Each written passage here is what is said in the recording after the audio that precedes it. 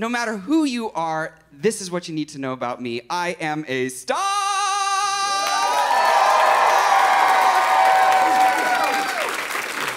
All right. Now, I have been on the televisions, okay? Not once, but twice at this point, okay?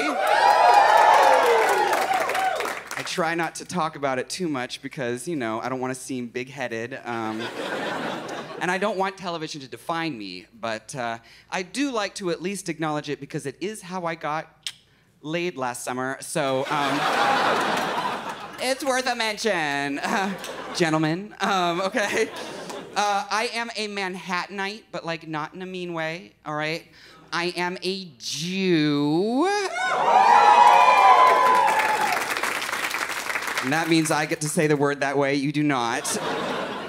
But above all, I am a woman who respects herself, okay? You know.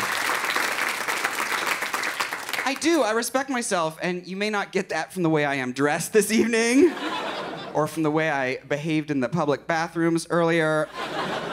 But I do. I respect myself, okay? And that is because I have learned that it is okay to be what some people might call trash. And you can too, okay?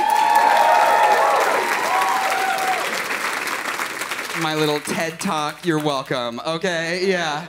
It's true. Now, I want to tell you a story about trash real quick. I'm going to slide into this tale like I'm going to slide into your DMs later, sir. Wait, are you guys the couple?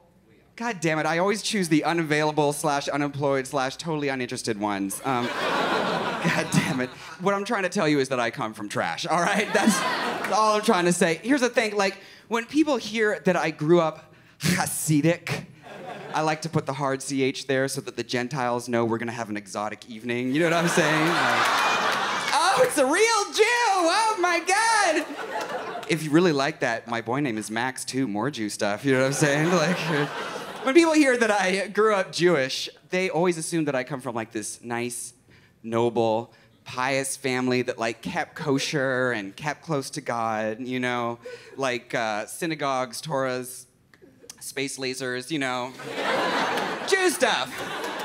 And it's true, like we were part of the Jewish community, but in the way that Staten Island is a part of New York City, you know, like. like technically, but come on, you know, like. It's true, we were Jewish, like we had the uh, hats and the indigestion, um, but.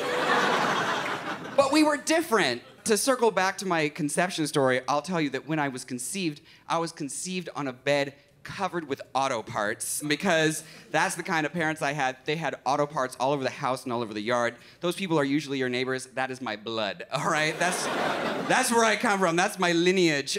My mom was always trying to kick my dad out of the house and get rid of him, but he always came back with a very good argument, a bottle of tequila, and uh, she's like, that's my love language. so, so the kid stayed in the picture, you know? Now you know what you need to know about my mom. Oh, and one more thing. I inherited my beautiful long hair from my mother. Do you like it? Just, uh...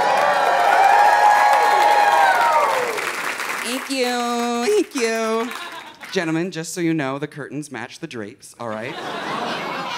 my pubes are also 26 inches long. Um,